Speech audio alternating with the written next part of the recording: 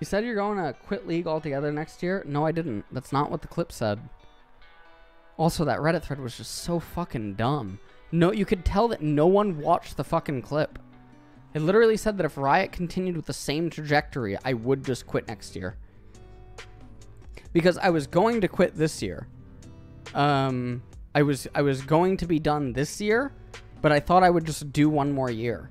Um, and the reason that I thought I would just do one more year, uh, I guess I can't like totally talk about, but I just thought I would go through it with one more year. Like obviously I won't if league somehow gets better in terms of patches and like everything else, but like the other thing that I think a lot of people could understand is I'm I'm enjoying watching Worlds except for the series. This is the first series I'm not enjoying. Um, mostly because I, I feel like yesterday's semifinal killed it. But all throughout October, I was having a lot of fun watching Worlds. I was having a lot of fun watching Worlds. I was having a lot of fun talking about it. I was having a lot of fun just like seeing everything, right?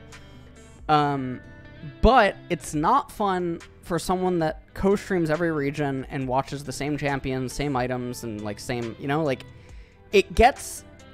I don't know. Imagine, imagine like watching 300 plus hours of League a month, and then I don't even know, man. Imagine, yeah, imagine watching 300 hours of, of League a month and then also spending so much time in private talking about it. It just gets really repetitive.